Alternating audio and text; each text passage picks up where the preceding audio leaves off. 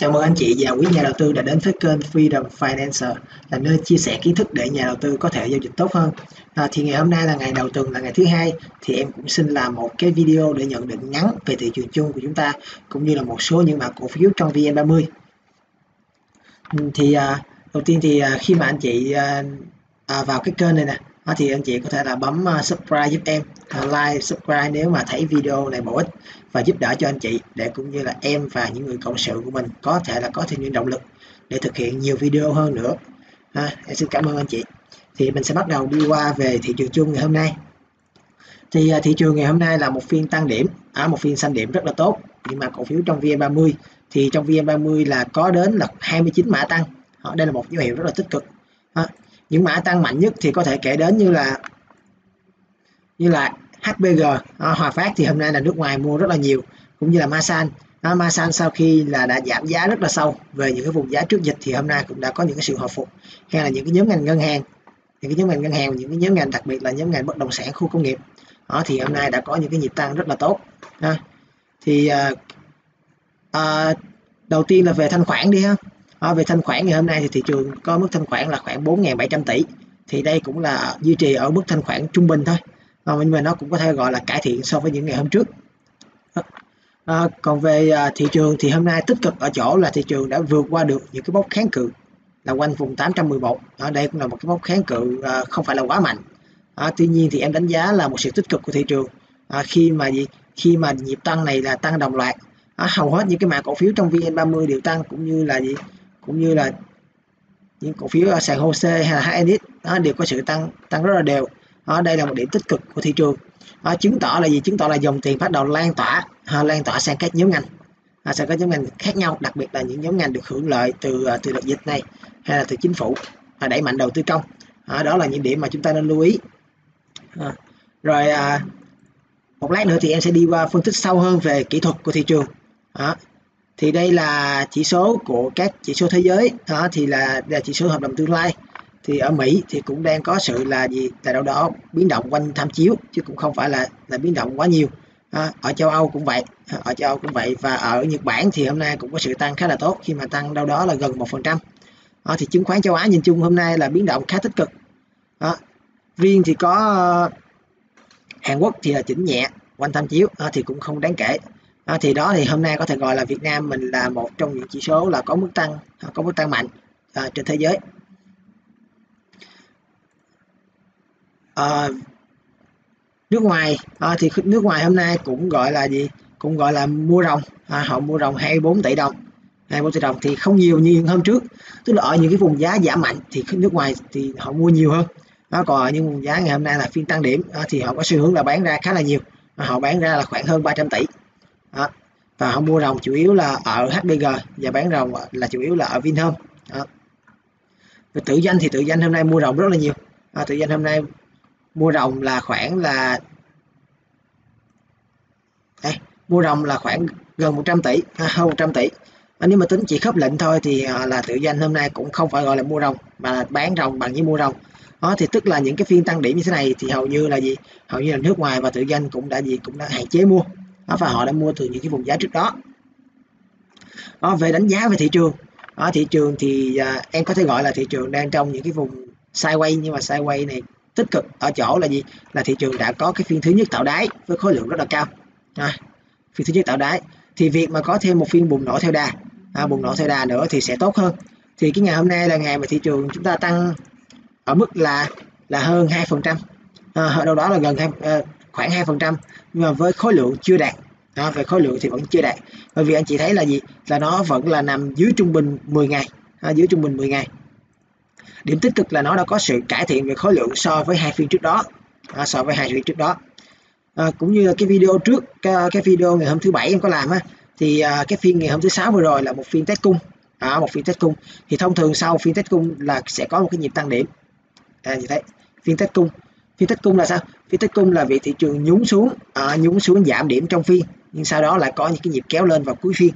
À, để để kiểm tra lại lượng cung trên thị trường. Đó, thì hai phiên này là em cũng có trình bày trong cái video trước đó rồi. À, đây là phiên không có nguồn cầu. À, và đây là phiên không có nguồn cung. Thì chứng tỏ là trong cái vùng này là thị trường đang có những cái dấu hiệu chững lại. À, sự cân bằng. À, tức là trong một cái nhịp giảm điểm mạnh thì thị trường đã tìm kiếm những cái điểm cân bằng của thị trường. Đó, thì vùng này là vùng sideways thì ngày hôm nay thị trường đã có những cái nhịp bứt phá đi lên và có xu hướng là gì? Có xu hướng là bứt phá khỏi chiếc hộp này. À, chiếc hộp tích lũy. Thì em vẫn kỳ vọng là nó tích lũy lâu hơn một tí. À, nó tích lũy lâu hơn một tí với khối lượng cạn dần. À, khối lượng cạn dần ở đây không có nghĩa là gì? Không có nghĩa là không có sự tham gia. À, không phải là không có sự tham gia của dòng tiền mà ở đây là việc có lại những phiên test cung như thế này. À, những phiên test cung như thế này. Để đảm bảo rằng cái lượng cung trên thị trường đã gì? Đã cạn kiệt. Đó thì khi đó chỉ cần một lực cầu nhỏ thôi. Một lực cầu nhỏ đến từ những cái thông tin tích cực à, ví dụ như là vaccine à, vaccine covid hay là ví dụ như là việc là gì? Là sự tăng trưởng của nền kinh tế à, hay là Việt Nam là mình khắc phục được cái đợt dịch này à, tức là kiểm soát tốt dịch à, thì khi đó những cái thông tin đó sẽ là thông tin thúc đẩy thị trường đi lên. À, thị trường hiện tại thì đang nằm ở một cái vùng có thể gọi là kháng cự à, kháng cự của thị trường là đâu đó là quanh vùng à, à, quanh vùng là 830 à, 830 thì đây là kháng cự kế tiếp của thị trường thì trước hết thì nó sẽ có một cái vùng ở đây là gọi là vùng gap down. À, vùng gap down thì nó cũng nhỏ thôi chứ không phải là lớn. À, thì anh chị chú ý là thị trường ở đây có một cái gap nhỏ nè. Thì cái ngày hôm mà nó rơi mạnh đó, ờ, thì nó đã tạo một cái gap down xuống thì nó vẫn còn một cái gap nhỏ vẫn chưa lắp được. Đó thì không phải là quá lớn. Thì cá nhân em thì nhìn nhận là ngày mai có thể là mở cửa. À, nếu mà tối nay không có tin tức gì quá xấu đó, thì thị trường sẽ tiếp tục hướng tới cái vùng 830 à, hướng tới cái vùng 830 hoặc là ngày mai có thể là mở cửa xanh điểm. À, nhưng mà biến động đâu đó là là quanh tham chiếu. À, thì vẫn là ok. À, thì vẫn là ok. Miễn sao là gì? Miễn sao là nó vẫn nằm trong chiếc hộp này. À, chiếc hộp tích lũy này. À, chiếc hộp tích lũy này. Thì đây là vùng cân bằng của thị trường. Em kỳ vọng là có thể là nó giữ giá đi ngang ở vùng này. Giữ giá đi ngang ở vùng này. Bởi vì sao? Bởi vì khi mà gì? Khi mà tạo lập đã có những cái sự đạp xuống. À, họ đạp giá ở những cái vùng này nè. Hai phiên là hai phiên họ bán rất là nhiều thì anh chị nhìn khối lượng thì cũng biết là gì là hai phiên này là bị bán rất là nhiều. À, thì khi mà họ đạp mạnh như vậy thì cái việc mà họ kéo lên ngay kéo lên ngay thì cũng rất là khó. Bởi vì sao? Bởi vì họ chưa kịp gom lại lượng cổ phiếu ở giá rẻ. Ở giá rẻ.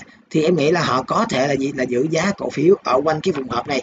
Họ sau đó gom dần à, gom dần tích cực. Thì sau đó họ sẽ có cái nhịp kéo lên thì khi đó nó sẽ mạnh hơn. Còn nếu mà kéo ngay bây giờ thì khả năng nó rơi lại rất là cao. Khả năng rơi lại rất là cao đặc biệt là ở những cái vùng này nè.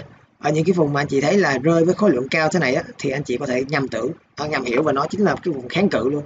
À, cái vùng kháng cự trên này. Đó, thì quanh đâu đó là vùng vùng 830 nó sẽ là một kháng cự khá là mạnh của thị trường.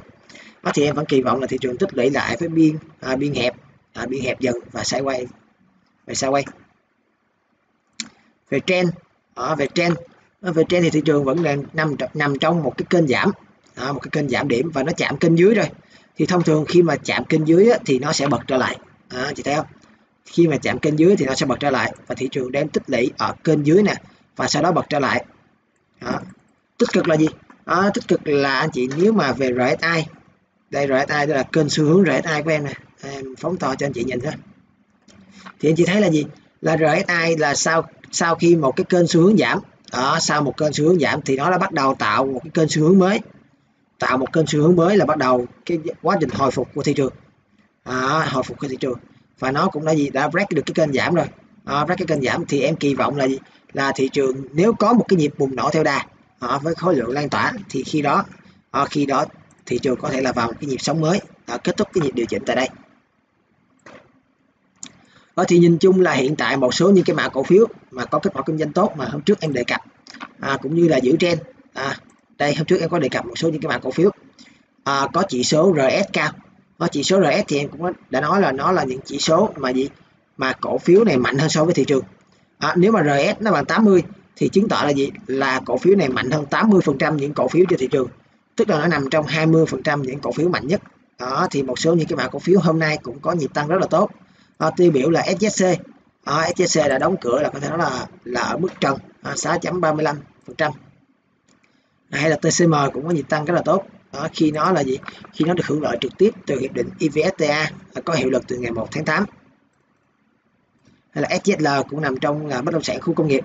Ở VSC ở VSC thì hôm trước em cũng có nói với anh chị nè là sau khi mà nó gì? Sau khi mà nó break được cái phiên này nó nó break cái vùng kháng cự này thì nó sẽ có xu hướng rơi test lại. Đó thì anh chị thấy không? Đó thì em vẽ nè. Đó, nó có xu hướng rơi test lại thì hôm nay nó đã có cái nhịp test lại uh, Novaland. Đó đây là những cái mã cổ phiếu mà hôm trước em đề cập. Thì Novaland đang trong quá trình hình thành cái chiếc cốc của mình. Uh, cái chiếc cốc tay cầm. Thì đây là cái vùng tay cầm của nó. Ở đây là cái vùng tay cầm của nó. Thì em kỳ vọng là nó có thể break được cái đường cổ là quanh đâu đó là vùng 65 66 à, khi mà nó break được cái vùng 65 66 này thì kỳ vọng là sẽ có một cái nhịp sóng tăng rất là mạnh của Novaland. Hay là WNS nè. Đó đường quảng ngãi. Đó đường quảng ngãi hôm nay có một cái phiên gọi là phiên test cung. Đây anh chị thấy nó có giống với phiên mà ngày hôm trước mà của thị trường không? Chị đấy đây là phiên test cung. Thì là test cung là sao? Là trong phiên đã có những cái sự giảm điểm nhưng mà sau đó là được kéo lên. À, sau đó là được kéo lên. Về xu hướng thì đường quảng ngãi vẫn là nằm trong một cái kênh tăng thôi. Vẫn nằm trong một cái kênh tăng. À, khi mà RSI cũng đã có những cái những cái xu hướng hướng lên. Đó anh chị để đó thì rất là tích cực. Đây là những mã cổ phiếu mà em đã đề cập trong video ngày hôm trước. Đó thì hôm nay cũng đã có những cái sự tăng điểm khá là tốt thủ dầu một. Đó, thủ dầu một hôm nay gì đã bắt đầu gì nó đã nằm trên được hai cái đường MA là từ cái phiên ngày hôm là 29 tháng 7 thì nó đã nằm trên được hai đường MA là MA 10 và MA 20 thì nó thì bắt đầu là gì? Là xu hướng tích cực dần. Đó thì cái điểm mua tiếp theo của TDM có thể là đâu đó là gì? Khi mà nó break được cái đường kháng cự quanh đây. Đó. khi mà nó break được cái đường kháng cự là quanh vùng là 25.7 25.7 thì anh chị có thể cân nhắc tham gia. Thì thông thường á thông thường khi một cổ phiếu break kháng cự thì nó sẽ có những cái xu hướng là gì? Là rơi test lại. Đó, nó sẽ rơi test lại. Em ví dụ á khi mà nó bật lên thì nó sẽ rơi test lại. Đó với test lại và với khối lượng thấp dần. Đó, với khối lượng thấp dần. Ở đâu đó quanh những cái vùng này. Đó, thì anh chị mình có thể cân nhắc tham gia. Nó tương tự như là thằng SJC vậy đó. Thằng SJC thì ngày hôm trước em cũng có nói là nó sẽ rơi test lại là cái vùng là kháng cự trước đó. Đây nè. Chị nhìn nè. Đó là đây là phiên break nè thì em cũng có vẻ là nó sẽ có cái phiên rơi test lại. Đó thì nó là rơi test lại. Đây với khối lượng thấp. Test lại với khối lượng thấp là tích cực nha anh chị. Bởi vì khi mà có những cái phiên tăng thế này á mà nó rơi test lại là chủ yếu là nó để kiểm tra được cái lượng cung ở cái vùng kháng cự này. Là xem là gì? Là lực cung ở đây có mạnh hay không? Đó và sau đó này nó có một cái nhịp kéo lên tiếp tục. Ha, có cái nhịp kéo lên tiếp tục. Đó là SJC anh chị thấy là thường nó sẽ có xu hướng là rơi test lại. Đây là VSC này à, cũng đang có xu hướng là rơi test lại. Hôm trước em vẽ sẵn nè. Thì nếu mà test lại với khối lượng thấp à, thì là ok. Đây là những cái mã cổ phiếu tích cực mà ngày hôm trước em đề cập. À, thì anh chị có thể tiếp tục quan sát tụi nó. À, tiếp tục quan sát những cái mã cổ phiếu này. Thì uh, video ngày hôm nay chính thì em sẽ đi qua một số những cái mã cổ phiếu trong VN30. Em sẽ đi nhanh thôi chứ cũng không phải là đi quá lâu bởi vì thời lượng video cũng có hạn. Đó thì uh, đầu tiên là BID đó thì BID đang nằm trong một cái xu hướng tích lũy đây anh chị thấy xu hướng tích lũy à, một điểm mà BID có thể tích cực là gì? Là những cái vùng này anh chị đấy là BID luôn đóng cửa là gần cao nhất ngày. Đó gần cao nhất ngày với khối lượng thấp. Đây với khối lượng rất là thấp. Thì khi mà một cổ phiếu tích lũy đó mà được kéo lên với khối lượng rất là thấp như thế này á thì đây là những phiên gọi là những phiên test lại nguồn cung. Đó tức là nó liên tục có những cái sự giảm điểm để kiểm tra xem là gì? Là lượng cung quanh đây là có còn hay không. Đó thì BID đang cho những cái tín hiệu rất là tích cực. Những tín hiệu rất là tích cực. BID có một cái vùng kháng cự là khi mà nó bị rơi khỏi hôm trước này thì vùng kháng cự của nó là đâu đó là quanh vùng giá 38 à, quanh vùng giá 38 thì anh chị anh chị nào cân nhắc tham gia thì có thể là xem xét là khi mà cổ phiếu này tích lũy siết chặt thêm một hai phiên tới. Đó và có những cái nhịp à, có những cái nhịp test cung lại như thế này nè. Đó mà chặt hơn đó, thì chúng ta có thể là giải ngân thăm dò với cổ phiếu BID à, bởi vì trong nhóm ngành ngân hàng thì đánh giá về độ nhạy ở độ beta chỉ số beta tốt á, thì em đánh giá là BID e là một trong những chỉ là cổ phiếu mà đã biến động nhanh so với thị trường. À, ví dụ thông thường ngày hôm đó nhóm ngành ngân hàng chạy á, thì thông thường BID e sẽ là thằng chạy đầu tiên. À, chị để ý cho em. Ở giờ đó BID e cũng rất là đáng quan tâm đang trong một xu hướng tích lũy. À, tiếp theo là BVH à, thì BVH BVH đáng nói ở đây ở chỗ là BVH đã có một cái nhịp rơi rất là mạnh. À, kể từ thông tin là gì? Kể từ thông tin là cổ phiếu này bị loại ra khỏi rổ VN30 à, loại khỏi rổ VN30 thì ngày hôm nay là BVH là một trong những cổ phiếu tăng mạnh nhất trong thị trường. À, tăng đó đó là gần trần là 6,9% thì tại sao nó lại tăng mạnh như thế? Đó bởi vì theo cá nhân em nhìn nhận thì cái thứ nhất á, là nó đang rơi về một cái vùng hỗ trợ rất là mạnh là vùng gap down trước đó. Đây. Đó đây là một vùng gap down trước đó đây là một vùng hỗ trợ rất là mạnh của cổ phiếu. Đó, cái thứ hai là gì?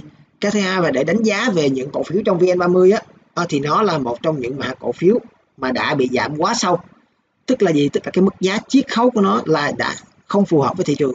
Đó, tức là gì? Nó nó nó đã giảm quá sâu thì xu hướng là nó sẽ được kéo lên một phần. Để cho cái mức giá của nó tương đối ờ, tương đối so với VN30 là, là tích cực hơn. Một cái nữa là nếu mà anh chị để ý đó, những mã cổ phiếu mà bị loại khỏi rổ VN30 á, thì thông thường à, thông thường nó sẽ có một cái đặc điểm là nó sẽ tăng. À, nó sẽ tăng khá là tốt. À, em ví dụ điển hình chính là BID năm 2018 à, ờ, khi mà nó bị loại nó khỏi lộ cổ phiếu VN30 à, thì nó cũng đã có những cái nhịp tăng rất là tốt so với thị trường trong khi là giai đoạn đó là rất nhiều mã cổ phiếu trong VN30 bị rơi bị rơi. Thì anh chị lưu ý cho em à, đó là BVH thì BVH có một cái vùng kháng cự là quanh vùng giá là 44 à, quanh vùng 44 thì anh chị nào đã có hàng VVH thì có thể là canh quanh vùng này thì nó sẽ có những cái sự test lại. À, bởi vì sao? Bởi vì khi gặp những cái vùng kháng cự này thì rất là nhiều những cái nhà đầu tư còn cầm hàng trên này á người ta sẽ có xu hướng là gì? Là người ta chốt xuống. À, chốt dần xuống. Đó. Bởi vì khi mà chốt dần xuống như vậy mà nếu có một lực cầu từ dưới đỡ lên đó thì mà khi cung gặp cầu đó, thì sẽ tạo ra những điểm cân bằng. Tạo ra những điểm cân bằng thì nó sẽ có những cái phiên gọi là phiên tích lũy. À, tích lũy là giá đi ngang thì em kỳ vọng là khi gặp những cái vùng kháng cự là quanh vùng 44 này thì BVH sẽ có được cái sự tích lũy trở lại với khối lượng thấp dần. À, thì khi đó có thể cổ phiếu này sẽ tiếp tục đi lên à, tiếp hướng tới những cái vùng giá kế tiếp là quay lại cái vùng nền trước đó ở đây. À, quay lại cái vùng nền trước đó ở đây. Hiện tại thì BVH vẫn còn nằm trong một cái xu thế downtrend thôi. À, nên chị nếu mà mua mới á, thì em nghĩ là nên đợi để test xong cái kháng cự này. À, còn nếu anh chị đã mua ở những vùng giá dưới đây tức là cái vùng hỗ trợ ở đây á à, thì mình có thể nắm giữ và quan sát tiếp tục à, cô thích công. Thì cô thích công là một trong những cái mã mà khá giống BVH ở chỗ là gì? Là nó biến động rất là lớn và nó cũng đã bị loại ra khỏi rổ VN30 à, anh chị thấy không? Thì khi mà nó bị rơi sâu như thế này từ cái đợt mà gì có những cái thông tin tiêu cực về cô con à, thì nếu mà để ý thì mã này là một trong những mã có cái biến động à, cái biến động rất là lỏng lẻo. Anh chị thấy là tăng giảm liên tục đen xen. À, mà tăng cũng rất là mạnh mà khi giảm cũng giảm rất là mạnh thì đó là một cái điểm mà không quá tích cực. Bởi vì khi mà một mã cổ phiếu mà biến động thế này á thì nó sẽ rất là khó đi lên. Bởi vì sao? Bởi vì anh chị hình dung là gì? Nó biến động lớn thì chứng tỏ là gì? Ở trên này cái lực cung của nó còn cầm rất là nhiều. Tức là nhiều nhà đầu tư còn bị kẹp hàng. Đó họ bị kẹp lại. Thì khi mà nó rơi thế này họ chưa bán ra thì khi mà cổ phiếu đi lên đó thì nó sẽ bị gì? Thì nó sẽ bị chốt xuống. À, với một điểm nữa là gì? Là BVH đang đang gọi là nằm dưới hai cái đường EMA 10 và EMA 20 đó, thì cá nhân em nhìn nhận ở TCTD à, cô thấy con thì cá nhân em nhìn nhận thì nó cũng không phải là quá tích cực đâu. Đó, không phải là quá tích cực đâu. Đây anh chị nhìn nè. Đó đây là khi vùng hỗ trợ của nó nè. Thì sau đó nó bật lên. Đó, sau khi rơi vùng hỗ trợ bật lên thì cái kháng cự gần nhất của nó là đâu đó quanh vùng 73 anh chị thấy nó có rất là nhiều những cái vùng kháng cự. Ở liên kề.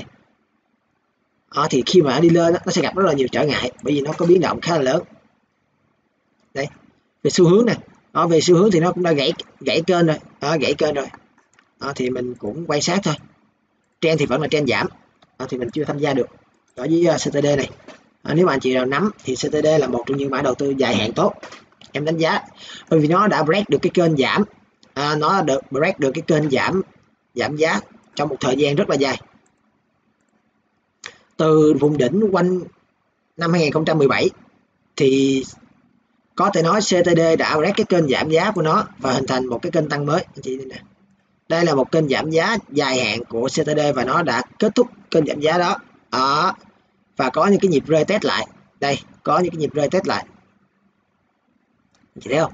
Và gặp những cái vùng hỗ trợ của nó là quanh vùng giá là 65 66 đây.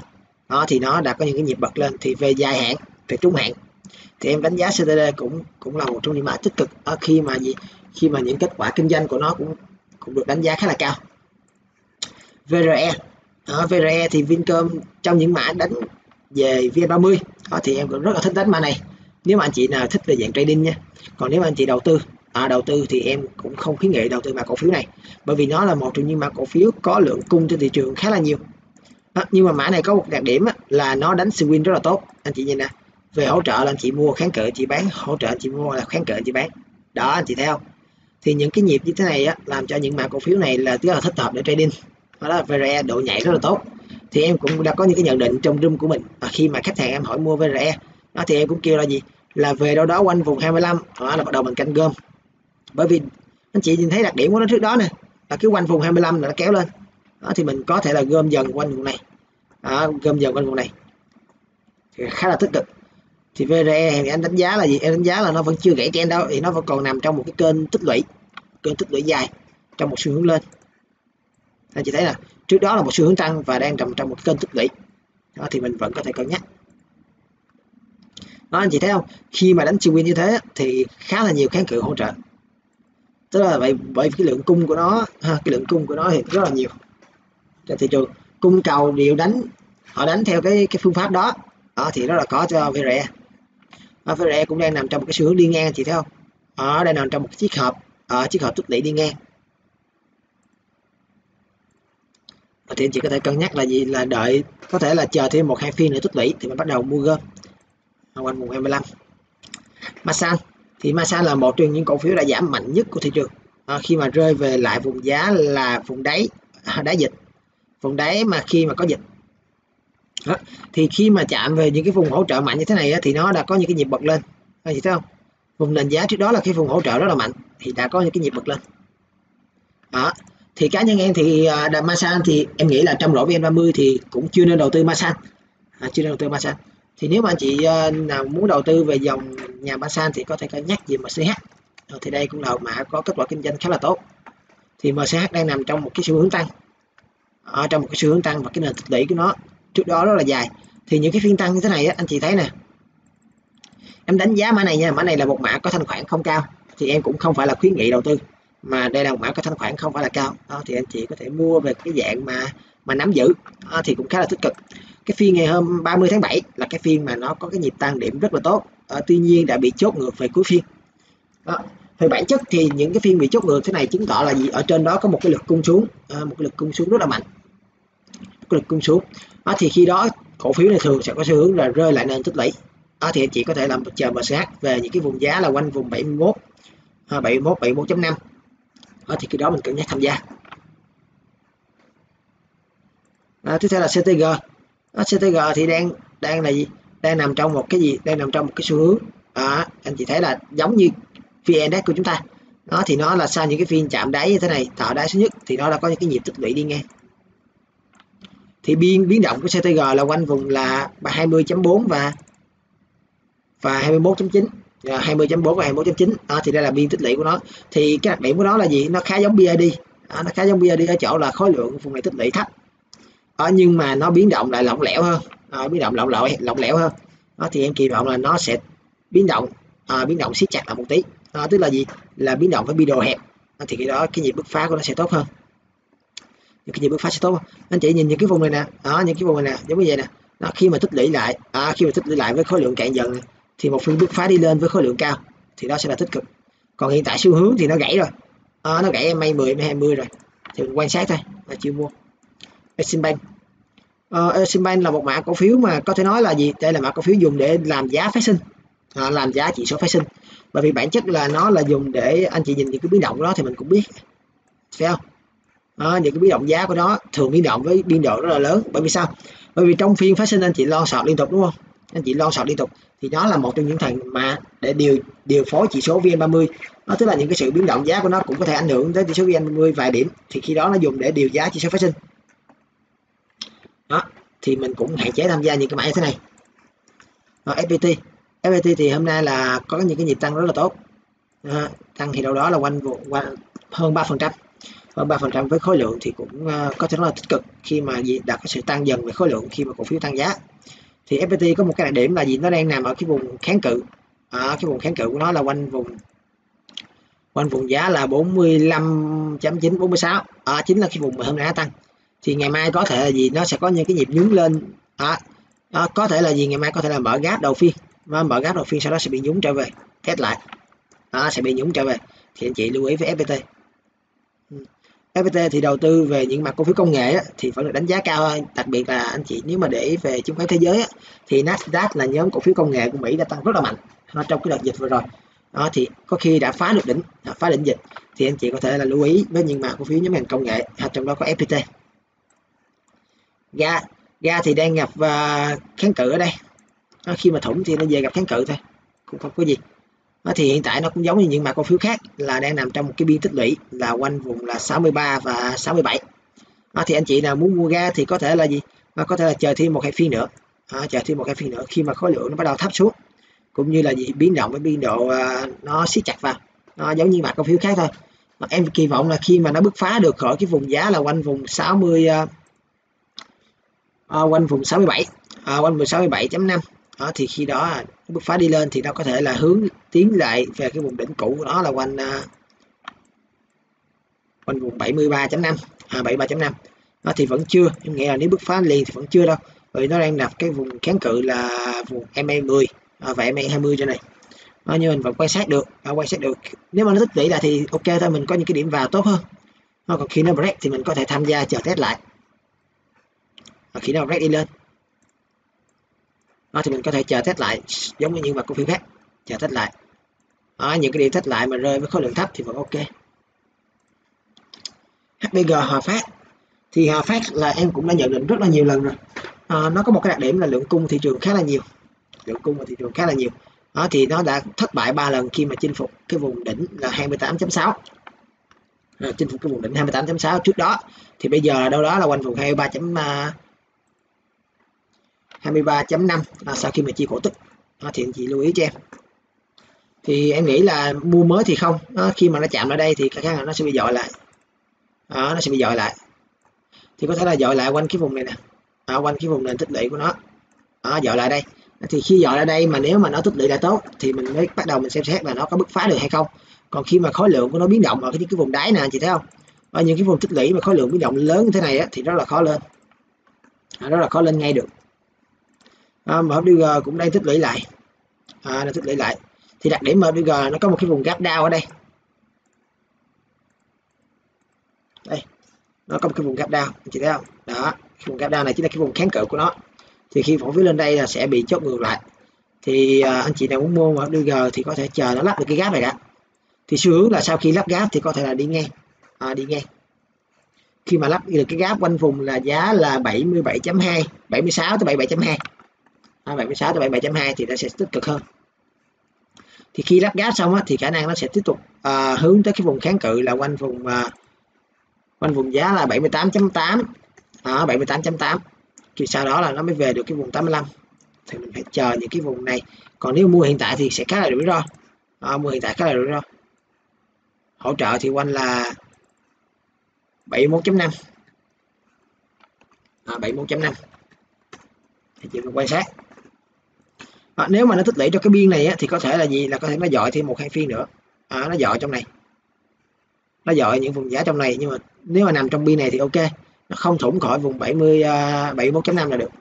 À, thì mình có thể chờ mình mua. Đặc biệt là chỉ khi mà thị trường có những cái nhịp bứt phá đi lên thôi thì mình mua là vẫn tích cực.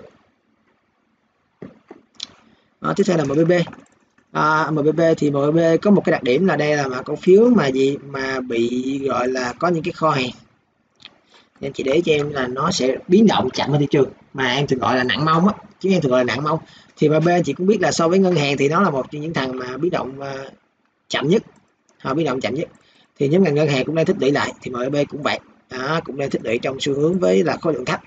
Thì đánh ngân hàng thì em hạn anh chị hạn chế đến MB mặc dù đó là một trong những cổ phiếu mà có uh, có gọi là cái việc mà giải quyết nợ xấu tốt nhất đó nó là tức là về cơ bản thì rất là ok thôi nhưng mà về kỹ thuật thì nó có những yếu tố đằng sau làm cho cổ phiếu này không thể đi lên mạnh được. Anh chị nên hiểu như vậy. Uh, Novaland. Uh, Novaland thì là đang trong một cái gọi là mô hình cốc tay cầm. Uh, mô hình này đã hình thành từ từ ngày 19 tháng 9 uh, à, cho tới ngày ngày 10 tháng 7 thì đâu đó là gần một năm. Thì mô hình tóc cái tóc cốc tay cầm á, thì là xu hướng là càng dài thì nó sẽ càng mạnh. À, tức là bứt phá đi lên càng tốt. À, đây là biểu đồ và biểu đồ tuần chỉ thấy là biểu đồ tuần này. Đó, nó biến động trong một cái thời gian khá là tốt. Trước đó là một xu hướng tăng thì con này hôm trước trong video anh cũng có nói rồi. Hiện tại nó nằm à, trong một cái gọi là hình thành cái, cái tay cái tay cầm. Đó, cái tay cầm và đặc biệt là khối lượng ở vùng đáy ở cái vùng đáy của cốc và vùng đáy tay cầm là phải là thấp thì mới ok. Thì nó có một cái phiên là những cái phiên đây tầm em thấy là khá là ok. Nó tức là tích lũy lại. Đó, tức là nó gì? Nó chạm bật chạm lên với khối lượng thấp. Anh chị thấy không? Đó thì vẫn là đang trong cái quá trình hình tay cầm thôi. Không có gì. Nếu nó bứt phá đi lên được quanh cái vùng 65 65.5 thì ok. Thì cho nó sẽ có những cái nhịp tăng rất là tốt. Ta có thể hướng tới cái vùng giá là quanh đây nè. À, quanh vùng kháng cự đỉnh cũ của nó là quanh 75 75 à, BLX BLX thì nó sẽ khá là giống gas thì hôm trước em cũng có vẽ BLX đó là có khả năng là khi mà nó chạm về những cái vùng kháng cự này thì em nghĩ là thủng thì chưa nhưng mà có thể là nó sẽ rơi lại về vùng nền rơi lại vào vùng nền bởi vì mình đánh giá là nó vẫn đang nằm trong một cái kênh tích lũy. Ở à, kênh tích lũy dao động trong cái vùng là quanh 41 và 43 à, 41 và 44 thì khi nó đánh lên 44 lại thì có thể là có những cái nhịp cung ở đây. Đó, những cái nhịp trả cung lại khi mà nó gặp những cái vùng kháng cự mạnh như thế này. Thì nó sẽ rơi lại đây test lại. Đó thì khi đó mình có thể cân nhắc tham gia nếu mà cổ phiếu tích lũy tốt. Ờ, nó cũng phải tích lũy tốt. Còn nếu mà nó ngày mai á, mà khả năng mà nó rác được luôn cái vùng 44 này á, đó thì mình có thể canh. Mình canh là nó có rơi test lại không? Đó, nếu không rơi test lại thì mình có thể vào chọn những cái điểm vào. Đó, thì cái vùng kế tiếp hướng tới có thể là vùng 47.5 là vùng kháng cự đỉnh trước đó. Thì em nghĩ là vẫn chưa bước được đâu chưa bước được ngay đâu. Bởi vì thị trường vẫn còn đang nằm trong những cái yếu tố về thông tin. À, tức là rủi ro về thông tin khá là nhiều. Ờ, à, BNG thì rất là nhiều anh chị hỏi em là BNG à tại sao là BNG à, bán vàng nhưng mà BNG à, không à, không gọi là cổ phiếu của nó vẫn không tăng. Thì bản chất là vàng tăng nhưng mà BNG là nó chỉ là bán lẻ à, bán lẻ vàng miếng thì anh chị cũng mình dung là gì? Anh chị hình dung là về những cái à, những cái doanh nghiệp trang sức á, thì trong những cái mùa dịch như thế này á, thì cái nhu cầu à, cái nhu cầu của người dân nó sẽ rất là thấp nếu anh chị biết về tháp nhu cầu Maslow á, thì là về những cái nhu cầu thiết yếu sẽ được đáp ứng trước về ăn uống nè về nhu cầu à, tức là những nhu cầu sinh tồn. Còn việc và những nhu cầu về à, làm đẹp tự khẳng định mình thì nó sẽ nằm ở những cái vùng sau. Nên chị thấy là khi mà dịch á, thì cái kết quả kinh doanh của BNG à, cũng bị ảnh hưởng rất là nhiều. Nên việc giá cổ phiếu BNG giảm thì nó cũng không có gì là bất ngờ. À, không có gì là bất ngờ. À, thì hiện tại là BNG nghĩ là vẫn chưa tham gia được đâu. À, vẫn chưa tham gia được đâu. Nếu mà nó à, nó có cái vùng à, kháng cự gap down đây nè. Trước đó là nó bị nhảy giá xuống kháng cự gap down với khối lượng lớn. Thì khi mà tạo gap với khối lượng lớn á, thì xu hướng là gì? Là xu hướng nó sẽ là cái vùng kháng cự khá là mạnh. Đó thì chị nào đang nắm giữ BNC á, mà từ những cái vùng trên này đó thì em có thể có thể nói là anh chị có thể chờ tiếp tục. Bởi vì gì? Nó bán bây giờ thì cũng chưa có những cái tin tức gì có chưa có những cái nhận định về có thể khẳng định là nó không uh, nó giảm nữa. Ờ, nhưng mà mình vẫn gọi là vẫn phải quản trị rủi ro. Đó, tức là nếu mà nó về thủng khỏi những cái vùng này ở vùng 50 50.5 thì anh chị nên thoát ra. Vì nó vẫn đang gọi là đang trong đang nằm trong một cái xu hướng giảm. Ở đang nằm trong một cái xu hướng giảm. Đây chị nhìn nè cái Bollinger Band của nó sau khi mà siết chặt lại nè đó hiệu ứng thắt cổ chai nè. Chị thấy không?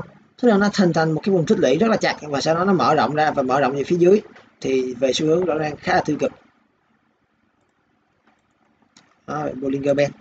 Thì cái cái hỗ trợ mà mạnh nhất của nó bây giờ thì đâu đó là quanh vùng ờ, uh, 49.2 à 49.2 thì nếu mà nó thủng 50.5 thì có thể là về lại 49.2 thì có thể là đâu đó có thể gọi là vùng giá trước dịch rồi. Giá trước dịch là đâu đó là quanh 44 thì về 49.2 thì cũng gọi là à, thì khi đó thì mình mới cân nhắc là mình bắt đáy chứ bây giờ thì mình không bắt. Nếu mà chị đã bắt những cái vùng này thì khá là ok rồi. Thì ok. Bao? Thì bao thì nhìn chung là đang tích lũy lại khá là tốt nha. Bao tích lũy khá là tốt, anh chị thấy nè. Nó tích lũy trên một cái biên trên trên cái biên trên của cái vùng hỗ trợ. Đó. Tức là phiên này là phiên nó bứt phá đi lên tăng, hôm đó là bao tăng khá là tốt. Thì ở những cái vùng này thì nó sẽ có xu hướng tích lũy lại, thì anh thấy là nó cũng khá là chặt. Là nó tích lũy được là năm phiên rồi. Ở phiên hôm nay là phiên thứ năm. Thì năm phiên thế này mà khối lượng cũng khá là ok, thì anh chị hình dung là nếu mà nó nó có thể là nó sẽ test lại cái vùng kháng cự ở đây đó một căn cờ quay 9.9.6 9.6 ờ, ờ, thì mua mới thì ờ, về bao thì em đánh giá là bao là một cổ phiếu đầu tư về trung hạn khá là ok. Về trung hạn ok. Xu hướng thì vẫn chưa, thoát khỏi xu hướng giảm đâu anh chị. Nhưng mà điểm tích cực là RSI đã bắt đầu tạo một kênh tăng mới nè. Chị thấy không? RSI đang tạo một kênh tăng mới. Đó, thì cũng khá là tích cực rồi. Đặt ra là bao. Thì anh chị là muốn mua bao thì có thể là canh mua đâu đó quanh vùng giá là 9 phần 9 nếu mà có những cái sự điều chỉnh lại. Như ngày hôm nay nó cũng đã có những cái lúc mà nhúng xuống 9.1 ở 9.13 thì anh chị canh là mua quanh quanh 9 à, quanh 9.1 thì là ok. Bởi vì em nghĩ cái vùng hỗ trợ này khá là mạnh. Cổ phiếu. Đó, cơ điện lạnh ri là một trong những mà cổ phiếu mà đã giữ được trend anh chị thấy không? Tức là nó không bị thủng đi em 10 và em 20 trong khi là hầu hết những mã cổ phiếu trong vn 30 đều mất cái hai cái mốc này. Đó, và hai cái mốc này là hai cái mốc minh chứng cho xu hướng thị trường nó đang cũng đang hướng lên lại MA20 đang hướng lên khá là tích cực. Thì uh, Ri có thể nói là nếu mà đánh giá về mặt hiện tại thì em vẫn đánh giá là mua thì chưa. Mua thì chưa bây giờ đang gặp cái vùng kháng cự ở đây và ngày hôm nay nó cũng không thể đóng cửa cao nhất phiên được. Anh chị thấy nè đây là vùng kháng cự rất là mạnh của cổ phiếu. Đó chị thấy không? Vùng kháng cự đáy trước đó nè. Đó, tức là gì? Đáy trước là kháng cự sau nè. Đây chị thấy nè đáy trước kháng cự sau. Thì vùng kháng cự là rất là mạnh đó, vùng rất là mạnh. Trước đó nó cũng đã có những cái phiên mà chạm lại cái vùng này nhưng mà cũng bị rơi trở lại thôi. Đó thì em nghĩ là khả năng là nó sẽ có cái sự điều chỉnh lại ở đây. Nó có thể điều chỉnh về đâu đó là quanh uh, quanh vùng giá là 30 uh, 32 chấm 32.6 tại sao em lại nói là nó sẽ điều chỉnh lại ở đây? Thì nó khi mà điều chỉnh lại sẽ tốt hơn. Bởi vì nó hình thành một cái xu hướng tích lũy. Đó bởi vì khi mà nó gặp một cái ngưỡng kháng cự mà tích lũy lại á, thì khi đó nó hút hấp thụ được cái lực cung từ cái vùng kháng cự đó thì nó mới có thể lên lại. À, lên tốt được.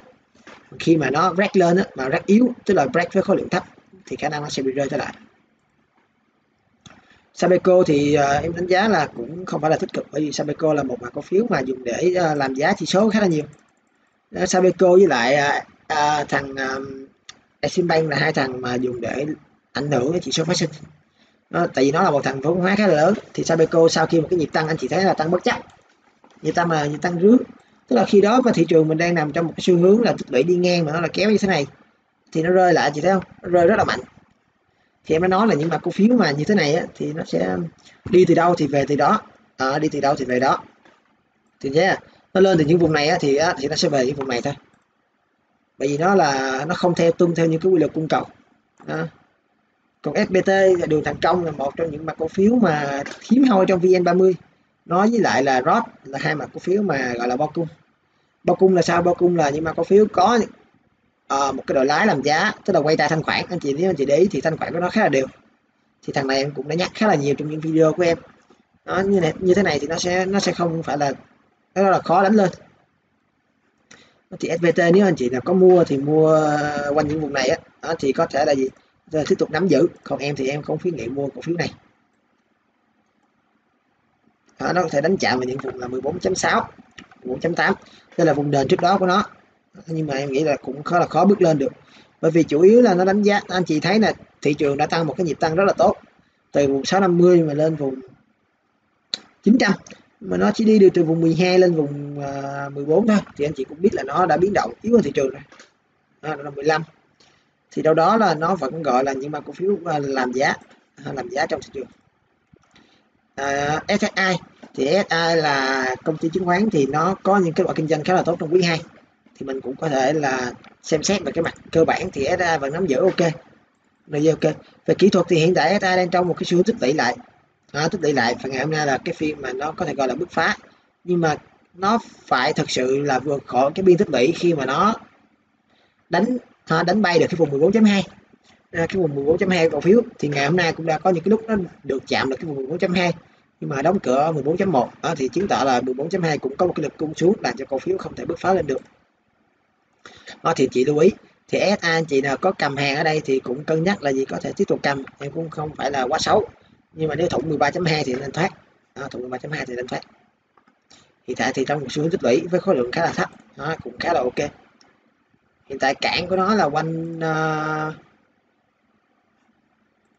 đây quanh vùng là 14.6 14.6 có một cái cản thì anh chị nào nếu mà mua ở những vùng này có thể là canh chốt ngắn quanh đây một phần là canh chốt ngắn. Bởi vì rủi ro thị trường rủi ro thông tin covid. Về à, thông tin covid thì rất là nhiều anh chị nói là tại sao mà khi mà lượng người bị covid mắc càng tăng thì thị trường lại càng hồi phục. Thì nó cũng có một cái điểm là thông tin là bị bảo hòa tức là sao? Bởi vì nó cũng không quá bất ngờ với nhà đầu tư. Mà thị trường chứng khoán là thị trường có sự kỳ vọng. Dạ. Đó. STB thì STB là đang nằm trong một cái à, nó cũng đang tích lũy trở lại với khối lượng thấp. À, giống như mạng ngân hàng thôi. Như là CTG như anh em của nó thì STB là một trong những mã cổ phiếu mà em đánh giá cũng khá là cao về cái độ nhảy à, về cái độ nhảy nhưng mà nó vẫn đang nằm trong xu hướng downtrend. Downtrend. Thì nếu bắt nó thì mình có thể giống như tức là nhóm ngành ngân hàng thì đi chung với nhau thì bắt nó thì mình có thể canh là nó tích lũy lại vài phiên nữa. Mình chờ. Mình chờ vài phiên nữa. Tức là khi nó bứt phá lên thì thị trường bứt phá đồng loạt thì khi đó mình vào. Nó Techcombank thì cũng là một mã cổ phiếu mà cũng khá là ok. Đó, nhưng mà cái vùng tích lũy này khối lượng cao. Gì đấy khối lượng khá là cao ở những cái phiên uh, test cung lại. Những cái phiên giảm điểm mà khối lượng cao thì chứng tỏ lực cung ở đây còn nhiều. Lực cung ở đây còn nhiều. Đó, thì kháng cự gần nhất của nó là quanh vùng giá là 19.2 19.1 19.2 nó thì nghĩ là khi chạm vào đây thì nó sẽ bị có những cái nhịp đánh trả lại thôi chứ ờ, nghĩ là chưa bước ngay được. Đó, nếu mà ngày mai nó mở gáp á, thì xu hướng là sẽ rơi test lại. Rơi test lại cái vùng tích lũy. Vietcombank. Đó Vietcombank thì cũng tương tự. Vietcombank thì hôm nay là tăng khá là tốt rồi nhưng mà khối lượng không tăng. À, khối lượng không tăng. À, khi mà tăng mà khối lượng không tăng như thế này á, thì khi mà nó chạm những cái vùng kháng cự nó sẽ bị rơi lại.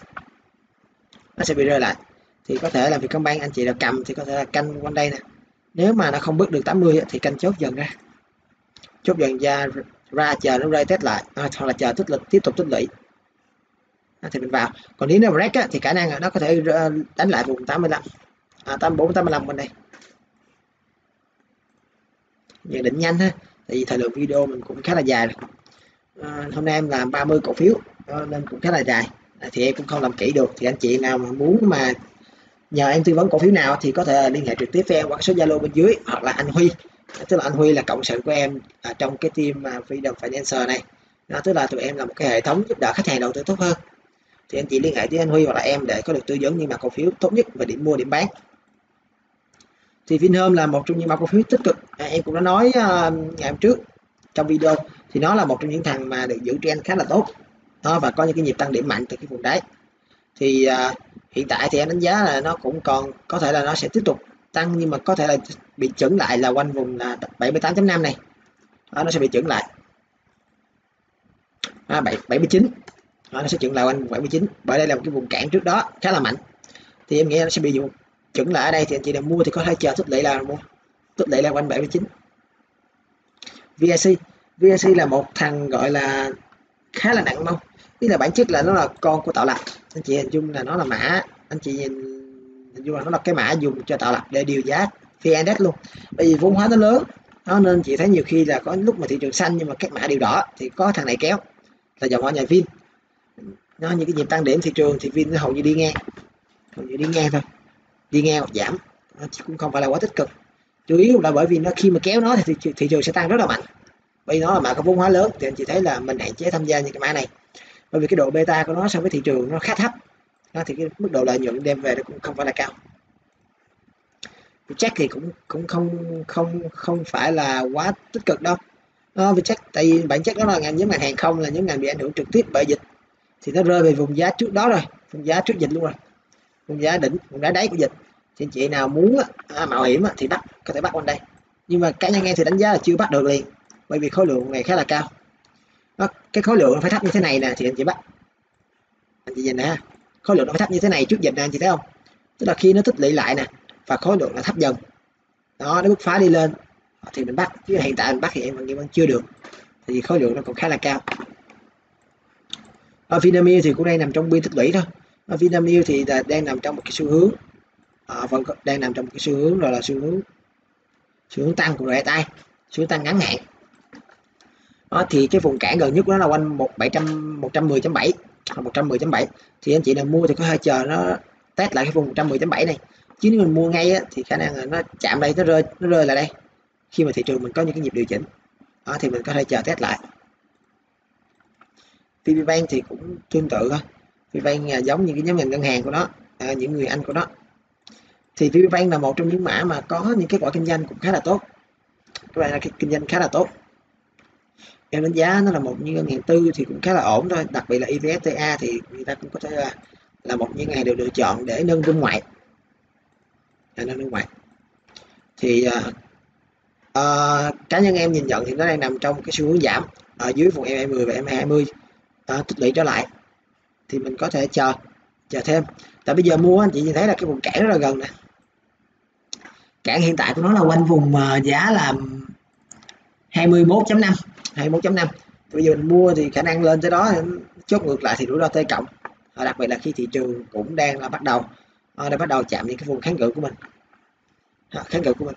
Thì mua gom thì cũng không sao. Nếu anh chị nào mà về đầu tư dài hạn á, thì mình có thể canh mua gom quanh vùng là 20 21 này thì ok. Em nghĩ ok thôi. Dài hạn nha. Đó thì cũng không có gì phải bàn rồi. Ờ, đó là bo cung thì em cũng không phân tích nhiều anh chị nhìn thì nó rơi từ vùng à, giá là 190 mà nó về vùng giá là hai thì chị cũng biết là à, cái độ lợi hại của anh quyết rồi. Anh quyết giá bao nhiêu cũng bán ha. Bán giấy à, anh biến giấy thành tiền. Đó HD Bank thì HD Bank là cũng đang tích lũy lại rất là tích cực bởi vì khối lượng đang cạn dần này anh chị thấy không? À, đặc biệt là những phiên giảm của nó là những phiên đóng cửa mức cao nhất ngày. À, cao nhất ngày. Thì nó khá là giống một thằng là thằng CTG thì phải nhưng không nhớ lắm. Khá là giống một thằng thằng bay thì cái việc mà đóng cửa cao nhất ngày như thế thì là sự tích cực đó chính là gì? Nó là những phiên test cung. Những phiên test cung là của thị trường. Đó. bởi vì cái lực khi mà nó giảm xuống mà có khối lượng bán ra thấp thì chứng tỏ là lực cung ở đây kỳ vọng là cái cổ phiếu còn tăng. Nó cổ phiếu còn tăng. Đó thì Techcombank anh chị có thể lưu ý cho em. Đó, lưu ý cho em đánh những cái nhịp đánh những cái nhịp sau. Đánh những cái nhịp sau. Đó, có khả năng là nó sẽ tiếp tục biên tích lũy thôi chứ là chưa bước lên ngay đâu. Mà chưa bước lên ngay được bởi vì hôm nay tăng khối lượng cũng không phải là cao. Nếu mà tăng thì khối lượng phải tăng đồng thuận. Nếu mà tăng mà không đồng thuận thì thì cái việc mà nỗ lực giảm giá à, nó thấp hơn cái kết quả giảm giá thì xu hướng là sẽ tiếp tục có thể điều chỉnh. Đó thì khả năng là nếu mà nó tiếp tục tiếp tục tích lũy thì anh chị có thể là mua mua dần quanh đây. Đó, khi mà thị trường có những cái xu hướng tích cực. Có thể đánh chạm về lại kháng cự quanh vùng 26.5 26.5 thì video ngày hôm nay khá là dài lý do là vì em phân tích hết tất cả những mặt cổ phiếu trong VN30 à, phân tích nhanh. Một số những mặt cổ phiếu nào giữ trend và những mặt cổ phiếu nào mua được và không mua được. Đó, thì anh chị có thể lưu ý và xem video của em. Thì em cũng có những cái cái room khuyến nghị khách hàng. Cái room khuyến nghị khách hàng như ngày hôm nay thì em cũng có nói là gì? Em cũng có nói là thị trường đã có phiên thứ nhất tạo đáy quanh 780 và khả năng là gì? Chờ phiên bùng nổ theo đà kết thúc nhịp chỉnh đó thì em nghe em nói là đã có phiên tạo đáy thứ nhất quanh 1780 thì khả năng là thị trường sẽ có những cái nhịp đi lên. Đó thế nào bởi vì nhưng mà tại sao mình phải chờ phiên bùng nổ theo đà? Bởi vì như anh chị biết á, những cái vùng hôm trước à, cái vùng hồi phục trước đó của thị trường á, thì tại vì không có phiên bùng nổ theo đà nên thị trường mới rơi trở lại bởi vì bản chất bùng nổ theo đà chính là việc dòng tiền thông minh tham gia vào thị trường. Nó khi mà dòng tiền của những tổ chức lớn tham gia vào thị trường thì nó sẽ kéo thị trường lên. Rất là mạnh. Bởi vì nó mua thấp bán cao mà còn mình là nhỏ lẻ thì mình sẽ đi theo dấu chân người khổng lồ thôi. Đó thì chị nào muốn đồng hành cùng em thì có thể là gì? Là liên hệ em qua cái số zalo bên dưới hoặc là anh Gia Huy. Anh Gia Huy thì em cũng có để số điện thoại bên dưới. Em và anh Gia Huy đều là gì? Là người hỗ trợ anh chị trực tiếp. Anh Huy thì có một cái room phái sinh. À, room phái sinh thì anh Huy là một trong những người mà đánh phái sinh có thể là lâu nhất. Anh đã tham gia phái sinh từ khi mà thị trường mình mới bắt đầu là hơn 3 năm nay. Đó thì ngày hôm nay thì cũng room mình cũng lại được 9 điểm ngày hôm nay rồi mình lại được 9 điểm. Thì trong thị trường rơi thế này á, nếu mà anh chị nào lo lắng cơ sở à, lo lắng cơ sở là chưa chính thức mà trong thời gian mình chờ đợi phiên bùng nổ thời đại thì anh chị có thể là trực tiếp tham gia phái sinh bởi vì phái sinh là một kênh tham gia mà em nghĩ là có thể mang lại lợi nhuận tốt cho anh chị khi mà thị trường giảm giá cũng như là tăng giá. Bởi vì nó đánh được hai chiều. À, đánh được hai chiều. À, thì đó là một số những cái nhận định của em ha. Anh chị nào muốn tham gia room vip thì liên hệ với em thì em có thể à, hướng dẫn anh chị để vào room vip. Em cũng có một cái room uh, thường. Ờ, tức room miễn phí để hỗ trợ tư vấn cho anh chị. Đó tức là khi anh chị hỏi thì em sẽ trả lời. Em cũng đưa những cái nhận định hàng ngày. Như thế nè. Đó, thì anh chị có thể là bấm vào cái đường link bên dưới mô tả video. Đó, thì sẽ tham gia cái room này thì em sẽ duyệt cho anh chị.